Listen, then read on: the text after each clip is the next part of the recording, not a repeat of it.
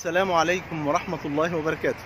بسم الله والحمد لله والصلاة والسلام على حبيبنا وأسوتنا وقدوتنا وشفاعنا رسول الله صلى الله عليه وآله وسلم. هل تحب أن تعيش سعيدا؟ إن أردت أن تعيش سعيدا فافعل أمرين قبل أن تأخذ أي قرار في حياتك. أما الأمر الأول فيكون قبل قرارك وأما الأمر الثاني فيكون بعد قرارك. الأمر الأول الذي يكون قبل قرارك هو التوكل على الله. إن أنت قبل ما تعمل أي حاجة توكل على الله.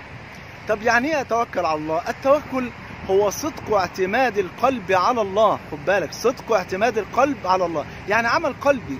الصدق عمل قلبي والتوكل عمل قلبي.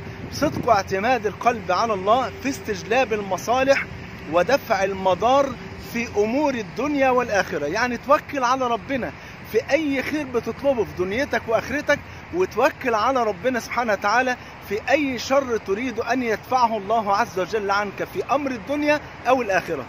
يبقى الصدق التوكل هو صدق اعتماد القلب على الله في استجلاب المصالح ودفع المضار في أمور الدنيا والآخرة.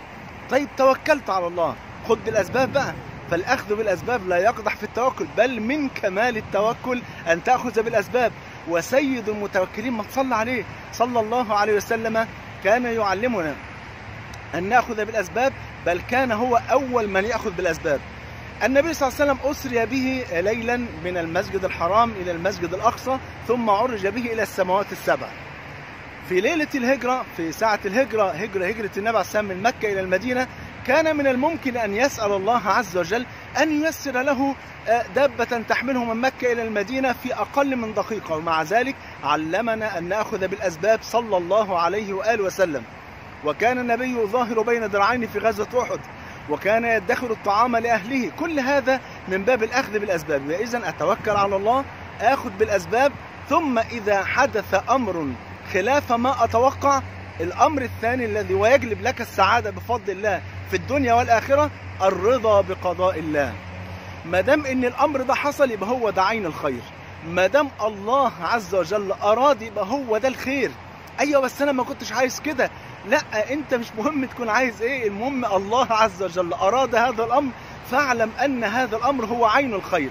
والله عز وجل أرحم بنا من رحمة الأم بطفلها الرضيع بفضل الله سبحانه وتعالى. أسأل الله عز وجل أن يسعدنا وإياكم في الدنيا والآخرة وأن يجمعنا مع الحبيب المصطفى في الفردوس الأعلى إنه ولي ذلك والقادر عليه.